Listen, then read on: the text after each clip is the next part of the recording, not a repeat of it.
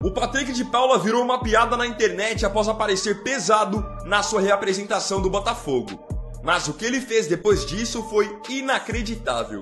Após passar o ano de 2023 praticamente inteiro sem atuar, por estar no departamento médico, Patrick se reapresentou mais inchado do que o normal, o que gerou muitas brincadeiras e indignações nas redes sociais.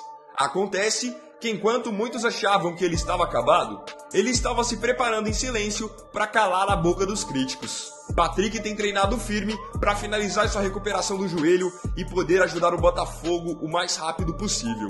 Novas imagens divulgadas pelo time alvinegro já mostram Patrick muito mais magro e cuidando da sua parte física, realizando uma boa pré-temporada com o restante do elenco. Já em reta final de recuperação, o jogador de 24 anos deve estar à disposição do técnico Thiago Nunes em breve para tentar dar a volta por cima de uma vez por todas.